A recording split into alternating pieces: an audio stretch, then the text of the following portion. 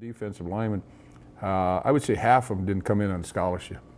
You know what I mean? They earned it, and he developed those kids into that position and stuff like that, if not more of them. And that uh, uh, they're so close and things like that. They play hard, and uh, there than anybody on the team won't tell you that's one of the best groups you're going to see in the conference collectively as a group. And, but I'm not worried about that anymore. Having you know the big marquee linebacker, because when the uh, uh, Ethan Douglas played and the Tony Leggett played and the people before them played, uh, Travis Smith and, and those those guys played. They, they were all marquee linebackers. Those guys didn't have the odd defensive line we got in front of them right now. You, you, you know what I'm saying? You know, and I, you know, I just want all I want out of my linebackers is do your job, play solid, and be consistent in your play, and we'll be fine. Opportunities are endless, you know, because we, we, can take care of each other this year more so than we could in other years. You know, you know, and I, I feel pretty good about that. I really do.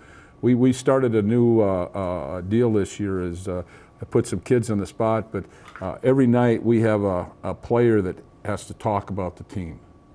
Say what he wants. He can talk a minute, he can talk five minutes. You know, he talks about the team. And these guys get up there and we, you know, I'll pick one out. Tomorrow night you're up here and things like that. That guy gets up and talks about the team, and uh, uh, we've had some of them get standing ovations when they got done talking. You know, that's pretty neat. You know, kids are listening and, intense and stuff like that, and it's, uh, it's, it's worked well. I feel real, real good about it.